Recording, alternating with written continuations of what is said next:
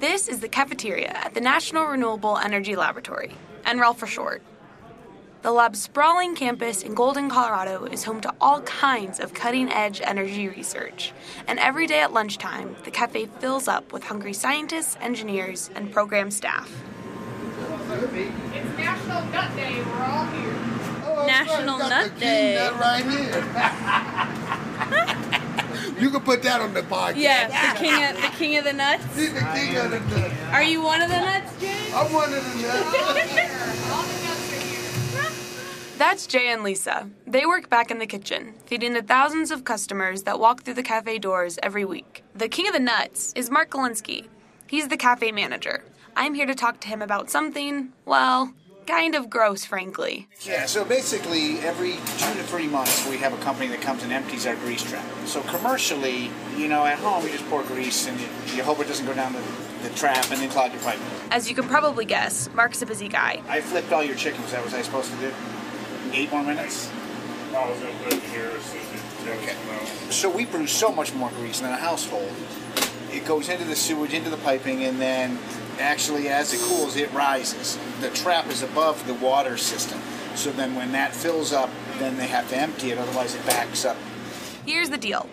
The NREL Cafe is actually LEED Platinum certified, one of the highest environmental standards a building can achieve. But beyond its high efficiency lighting and water saving innovations, it still has to deal with the same kind of waste as all food service establishments. That includes brown grease.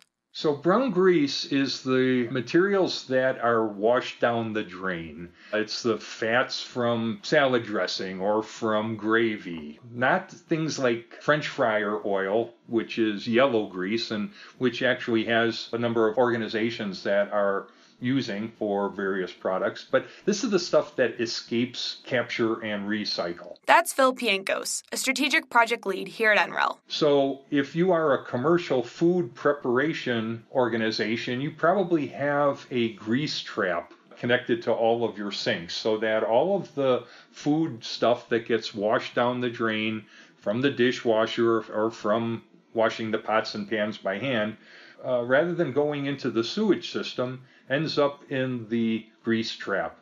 And it floats to the surface of the grease trap and periodically the operators of this commercial food preparation company will have their grease traps pumped.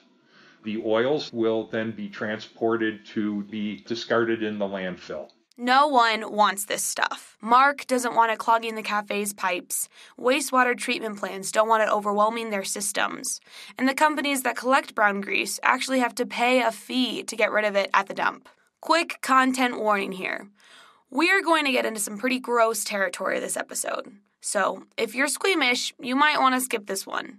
Case in point, if you let too much brown grease get into the sewer system, it can create a situation, like the one that made headlines in London in 2017. Oh man. Every underground labyrinth has its monster, as I'm about to discover. Down here, it's not a minotaur, it's something far, far worse. Oh god. Oh, the stink. Down here lives the Fatberg, a mixture of rancid fat, human excrement, and other unmentionables. They call them fatbergs, and, and yeah, the sewage pipes can be completely blocked off, causing great expense and challenges for wastewater. Yeah, nasty. But where some people see an inconvenience, Phil saw an opportunity.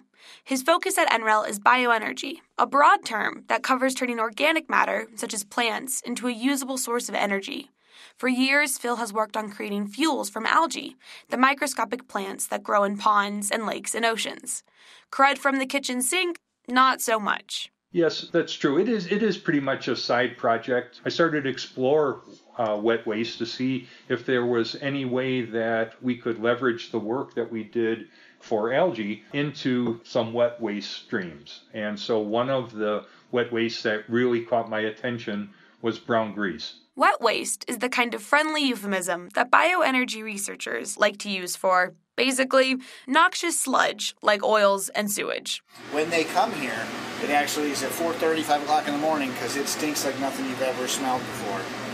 And when they start emptying that, it can set off some of the alarms in a lot of the other buildings that measure the fumes and, and air quality. It will go off, which is why they do it so early in the morning before anyone gets started. I had no idea. Yeah, it is. That's it- nuts. it- it is a stinky process. Jeez, would you mind taking me to go see Yeah, it? sure. Let's go.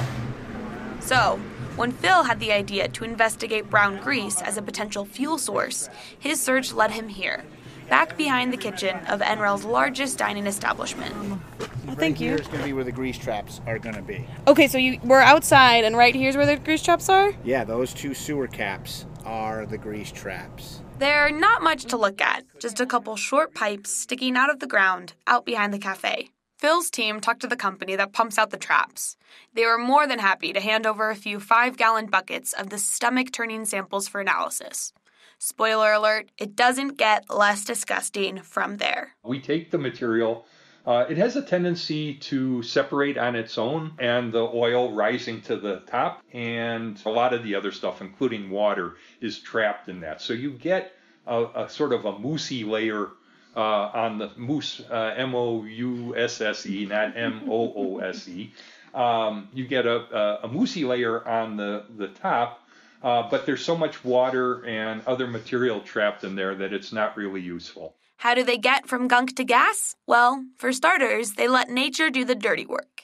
They use a combination of chemistry and biology to convert the unwanted material into useful biofuel components. And Phil's lucky. He doesn't actually have to see or smell the gnarly stuff. I have to admit that I have yet to encounter a sample of brown grease. I will leave that to my colleagues who actually work in the laboratory. I do not work in the laboratory.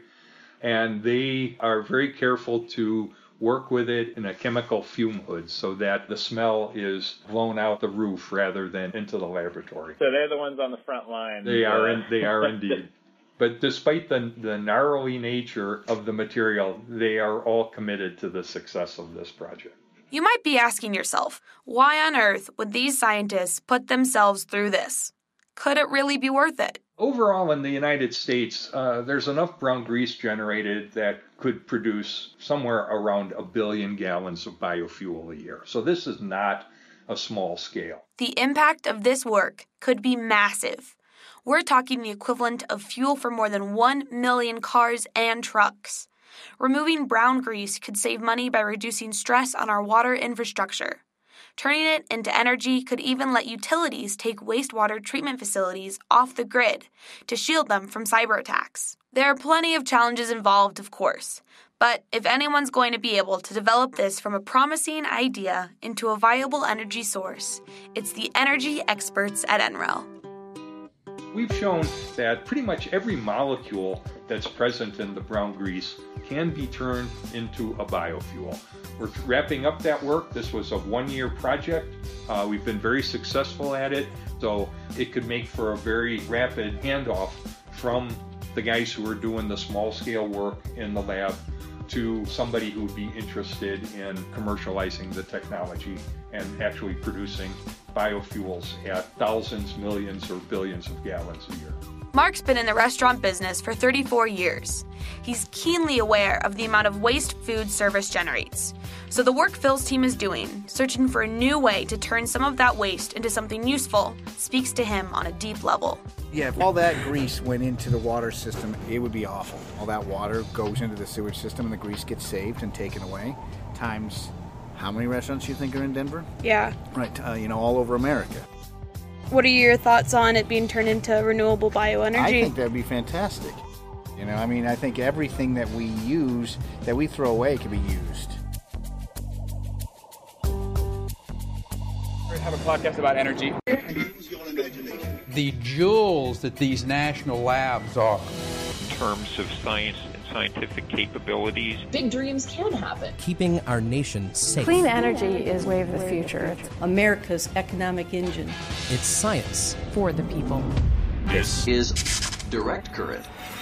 Welcome to Direct Current. I'm Matt Dozier. And I'm Cort Kreer. That was Claire Whitnell you heard earlier, reporting from NREL on the greasy, grimy, gritty side of renewable energy. And if you thought we were stopping there, think again. Today, we're taking a hard look at the stuff that gets dumped down our sinks, flushed down our toilets, and washed into our waterways. Coming up, we've got two more stories about some of the dirtiest jobs we know scientists working to turn waste that looks and smells horrible, which no one likes, into energy, which everyone likes. It's going to get gross, but informative and hopefully entertaining. Here we go.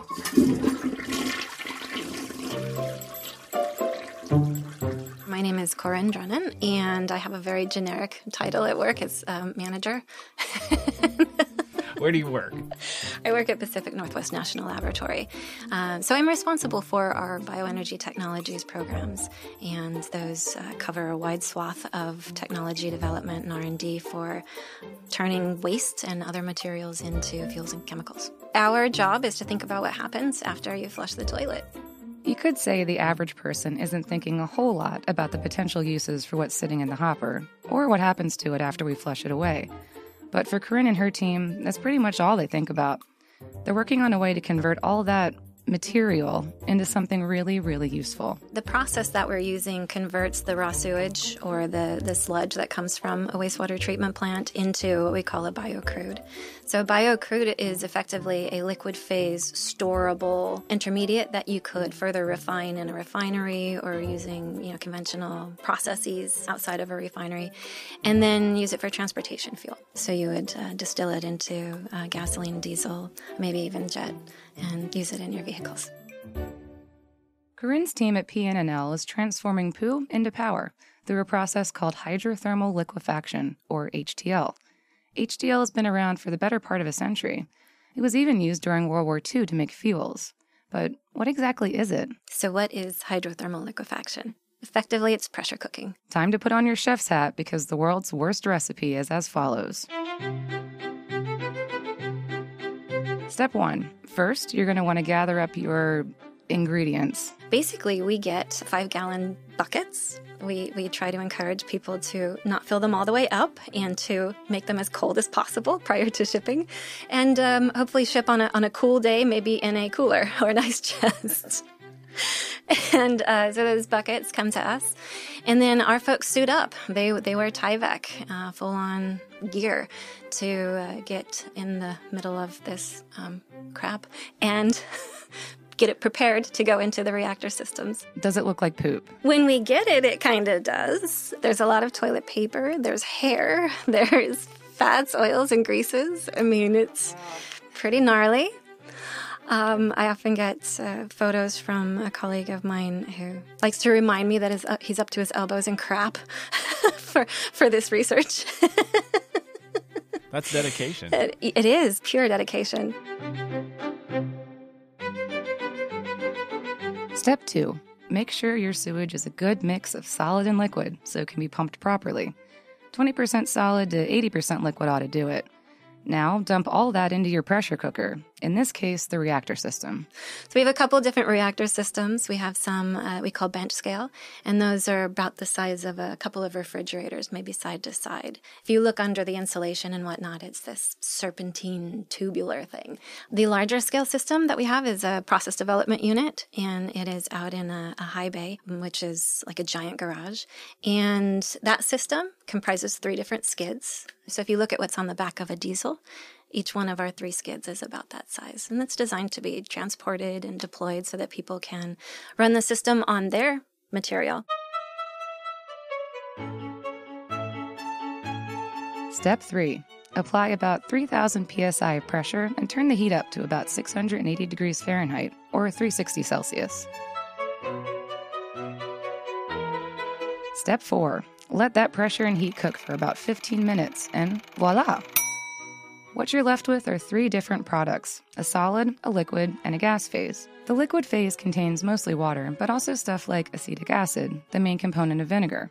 There are a few ways you can deal with this liquid. You could send it back to the wastewater treatment facility, or you could do some more chemistry on it to make additional co products, like pulling the carbon out to make biogas. The other stuff you're left with, the solids, are inorganics, unreacted carbon, and even some recoverable nutrients like phosphorus. The aqueous phase is a yellowish brownish water. And then the solid phase looks like a cake. Um, not like a cake you eat, but like a filter cake. Um, technical terms that mean other things too. Um, it, it looks like a pressed powder almost. Out of those solids, you also get crude. Biocrude, that is. Black gold. Texas molasses? The bio crude doesn't smell like molasses, but it looks like molasses. And it pours with about that consistency at room temperature as well. To use this bio crude in fuels, you need to remove the oxygen by putting it into a reactor, then flowing it over a catalyst with some hydrogen. What you're left with then is called a hydrocarbon. Break the hydrocarbon down by distilling it, and you get a blend stock. That blend stock can then be mixed into gasoline or diesel or however else you want to serve it up. Now, I know what you're thinking. After all the science has done to it, is it anything like the poo we all know and love? Not anymore. Not even the smell. So, it, so it doesn't smell at all coming out the other. Oh, it smells, but it smells different. Biocrude kind of smells like a campfire. The water phase is pretty foul. It doesn't really smell like biology. It smells like I, I keep thinking about sulfur. So, once processed, it's a far cry from how it looks sitting in those buckets. But where do those buckets come from? How in the world are they getting their hands on and in this much poop? Believe it or not, people are not at our door clamoring for us to take their poo. However, we have worked with Canadian poo and poo from the uh, Great Lakes area, so Detroit poo. So mostly it comes from our partners in, in wastewater treatment. The Canadian poo came from Metro Vancouver, and so they are also working on hydrothermal liquefaction. They're raising funding to build a demonstration there. And so they were one of the first to send us their poo. And we weren't sure if it was going to represent US poo, so we did some studies using poo from, you know, California, from Detroit. And the results were? You know, poo is pretty much poo. It's less a function of the diet and more a function of what do people put down their drains. Because if you think about what goes to a wastewater treatment facility, it's not just the toilet, it's your sink, it's your shower, and the other things that we find in those five gallon buckets. But in general, though, poo is poo. I think so. It, it knows no borders. it knows no borders. So, does this mean we'll all be filling our gas tanks with high octane biosludge instead of regular unleaded? Not quite yet.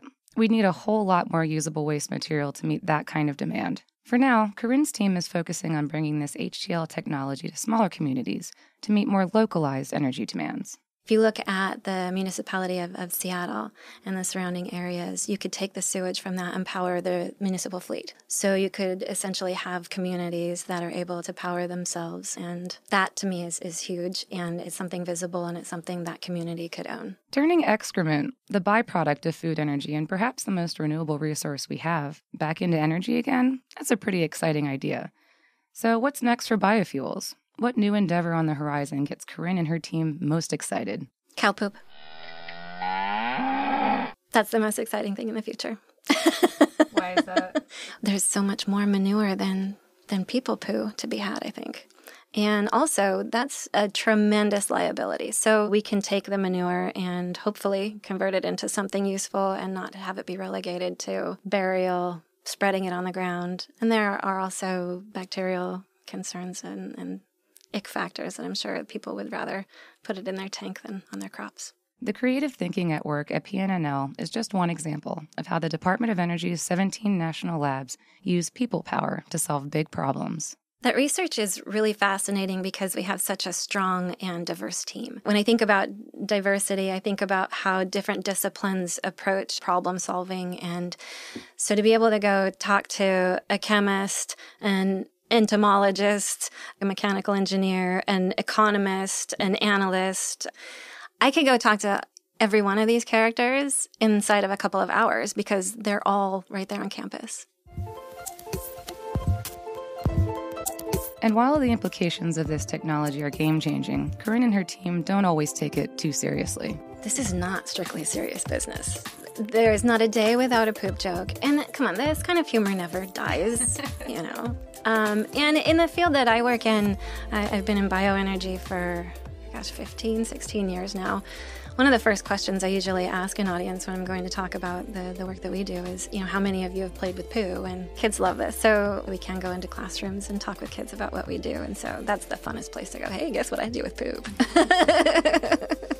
okay, jokes aside, this work really is groundbreaking not just to address our own skyrocketing energy needs, but to mitigate the damage that excessive waste can do to our planet. It's easy to flush the toilet or pour some crud down the drain and never think about where it goes or what happens to it. That's the nature of our relationship to waste out of sight, out of mind. Multiply that by several billion people and counting, and the environmental implications become more and more severe. You simply wind up with too much crap and nowhere to put it.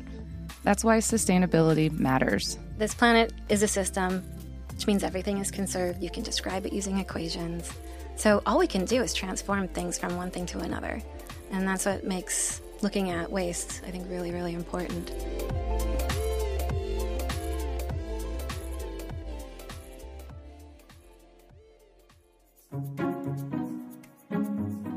We take you now from the Pacific Northwest to the shores of South Texas to explore waste of another kind. So far, everything we've talked about has focused on waste that goes down our drains, the kind of waste we do our best to capture and treat so it doesn't cause problems down the line. But what about things that don't flush neatly out of sight and into our sewer system with the press of a lever? Take pesticides and fertilizers, for example. South Texas is a rich agricultural region known for growing cotton and sorghum. And when it rains, some of the chemicals sprayed on those crops get washed into rivers and streams. You've probably heard about the problems this can cause. Massive blooms of algae, fed by nitrogen and phosphorus, choke waterways and suffocate fish. In the Gulf of Mexico, a so called dead zone has grown to the size of Delaware as the microscopic plants flourish, then die en masse. What causes those fish die off is the decomposition of the algae that basically sucks all the oxygen out of the water. And so basically fish are dying because the bacteria that are decomposing the algae require oxygen and that oxygen is removed from the water so the fish suffocate. And so that's one type of harmful algae bloom. That's Ryan Davis, a biochemist and biophysicist on staff at Sandia National Laboratories. Ryan's been investigating ways to stop these algae blooms, which can cause serious damage to the economy and human health. The other that we occasionally see are things like red tide, uh, toxic cyanobacteria, which bloom in almost random locations when the conditions are right. And I think really understanding how and why that happens is, a, is an open field of research. It's very interesting because the economic impacts of these kinds of things are getting worse and worse. In Florida, a particularly devastating red tide has ravaged coastal areas, driving away tourists and killing marine life like manatees and sea turtles.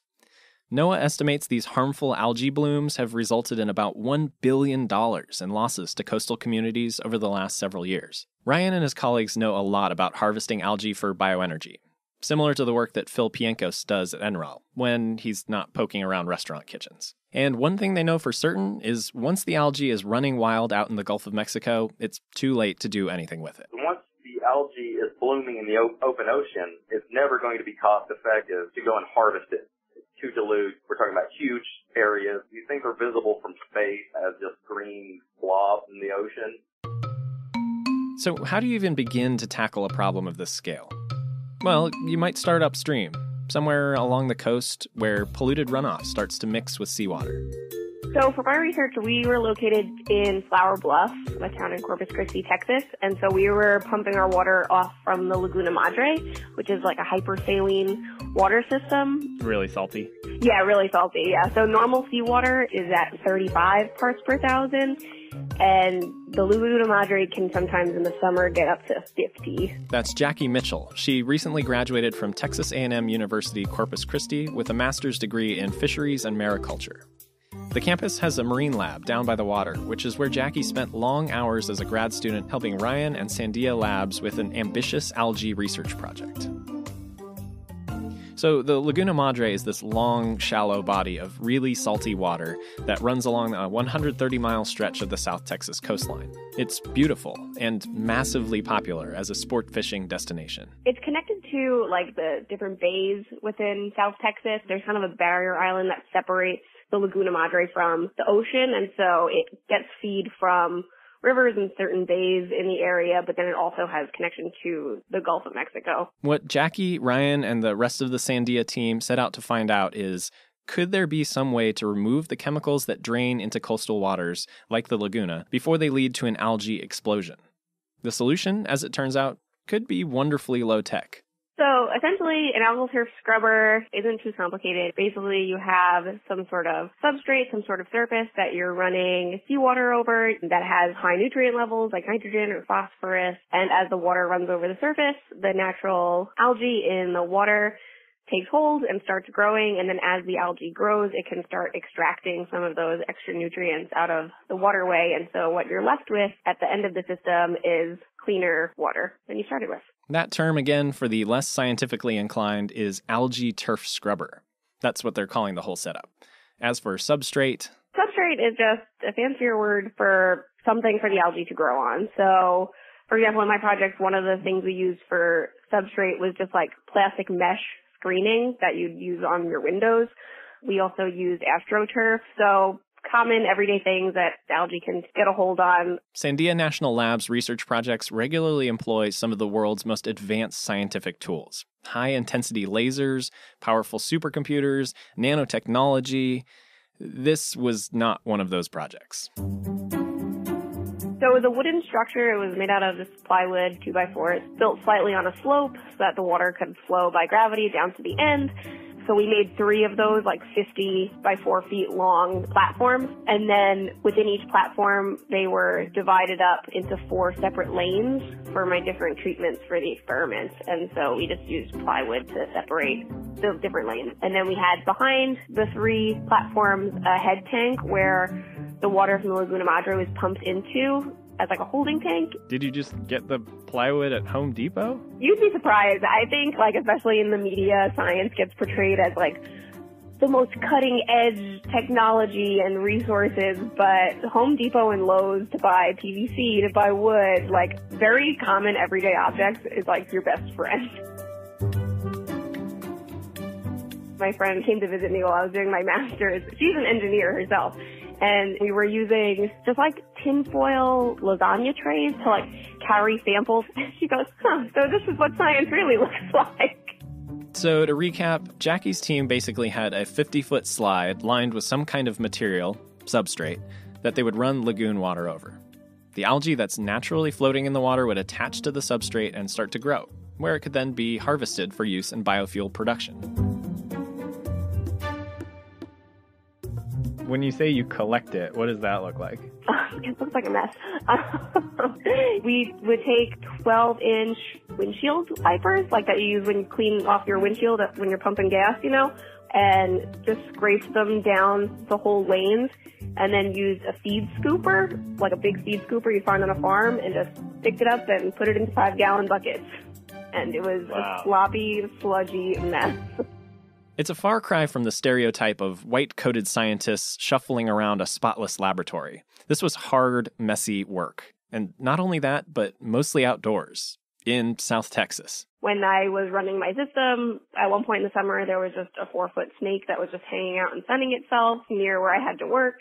Um, there lots of deer around and javelina, which are these wild hogs that are down in South Texas. As far as like the climate goes, it was super hot. So here they are again with these five gallon buckets, which kind of seem like the single most important tool in a bioenergy researcher's toolkit. Uh, anyway, they're filled with algae that looks like. Actually, I'll let Ryan describe it. You have stuff that resembles, sorry for the gross analogy, but it resembles hair that you pull out of the drain, frankly. It's green hair out of the drain. Our students have iron stomachs. I think Corinne's and, and our stuff probably has a lot of uh, similarities. So, not the most appetizing subject matter, but according to Jackie, it didn't actually have much of an odor, at least when they first scraped it out of the trough.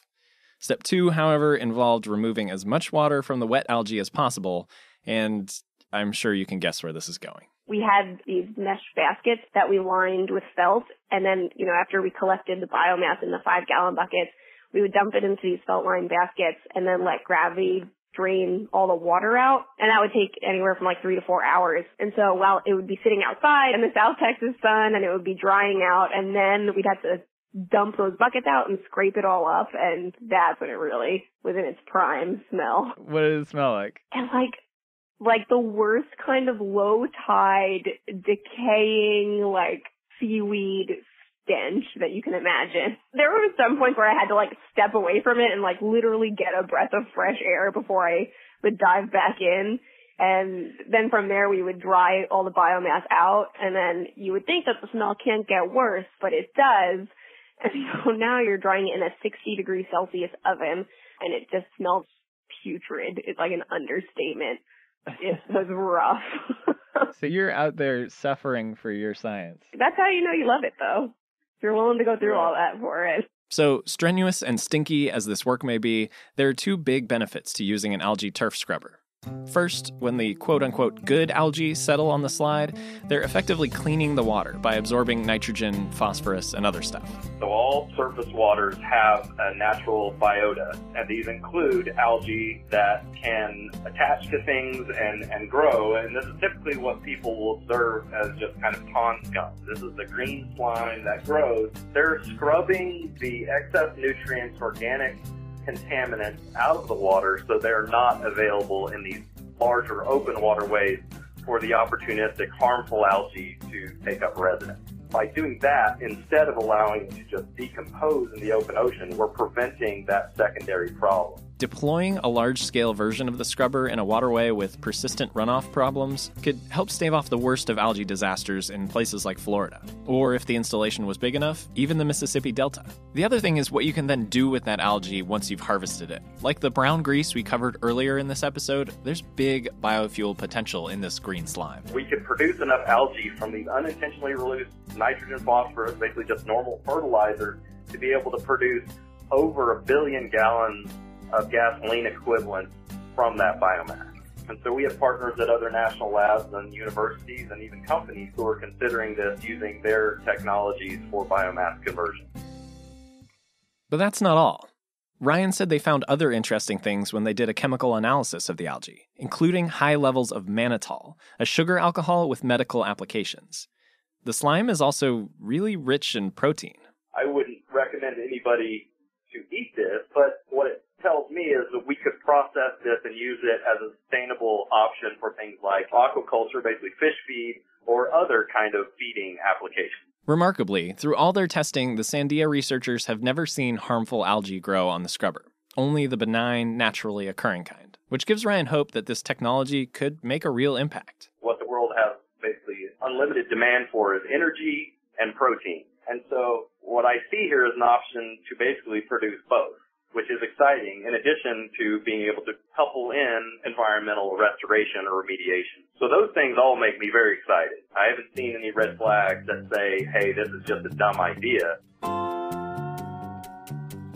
Like all of our stories this week, at its core, this is about a national lab searching for value in something that everyone else has discarded and finding it.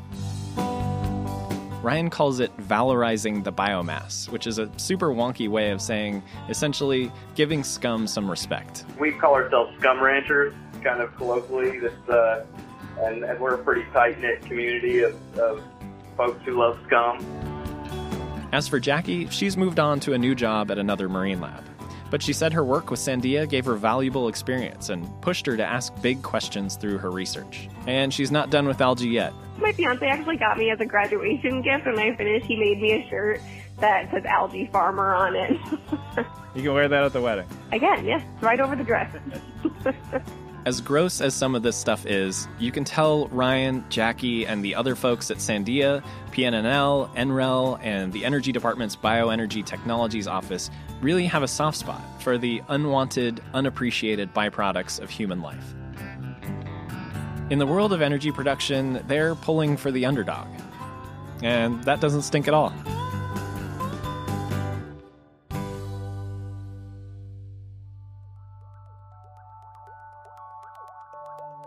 All right, folks, you did it. You made it through our grossest episode yet. If somehow this deep dive into the underbelly of energy wasn't enough for you, we've got buckets full of bioenergy content waiting for you on our website, energy.gov/podcast.